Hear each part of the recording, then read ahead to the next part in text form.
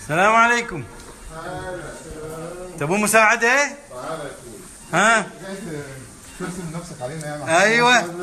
طيب يا محمد هذه القصة الجديدة بعد ما ردينا من السفر إلى زين الحمد لله صار لي فترة مو متكلم من النادي الصراحة الجو احتر وبديت أتفادى القعدة برا وايد وبعدين صار لي فترة مو جاي النادي أصلا لأني كنت مسافر ما أدري تقريبا أسبوعين.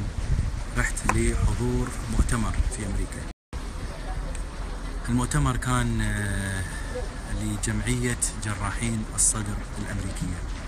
أقوى مؤتمر في جراحة القلب. آه، في بدايات القرن الجمعية صار لها 100 سنة تحتفل هالسنة 2017 ب 100 سنة على إنشائها في بدايات القرن السابق آه، اكتشفوا جراحة جديدة جراحة الصدر.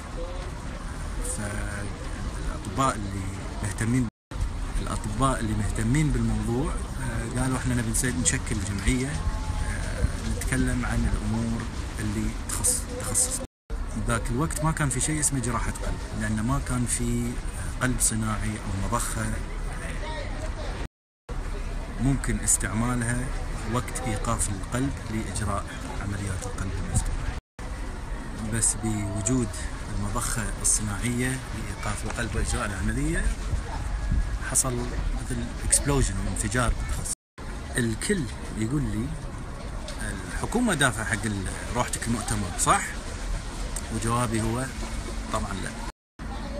الحكومة ما تتكفل بأي شيء آه، بالرغم من أن في بند باللوائح يعطي الوزارة الحق أو خلينا نقول الطبيب الحق أنه يطلب آه، مساعدة أو تحمل الوزارة تكاليف المؤتمر ولكن يعني أنا أمانة من يقولوا لي روح الوزارة تحوشني عوارض بطني ورقع بقلبي وصداع لأني أدري ان راح أضطر أروح من مكتب إلى مكتب إلى مكتب إلى مكتب علشان أخلص معاملة بسيطة. فأتفادى الروحه للوزارة وأقول حط فلوسك بالشمس.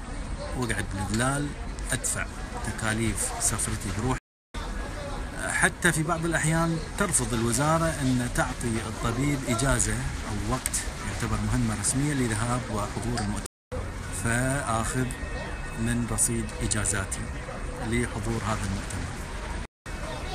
وأنا قلت لكم إن هذا أقوى مؤتمر في جراحة القلب بالعالم. فأحاول إني ما أطوفه. ليش؟ لأن العالم دائما في تطور. العلم دائما في تطور، الطب والتخصص اللي إحنا فيه دائما في تطور.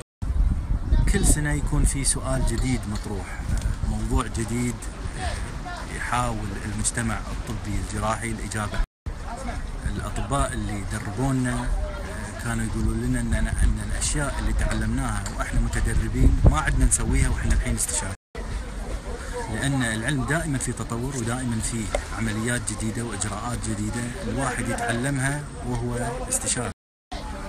بالعكس بعض الجمعيات الطبية تحرص أن الطبيب يأخذ ما يسمى سي إم إي سي إم إي بوينت كونتينيود ميديكال اديوكيشن هي ساعة.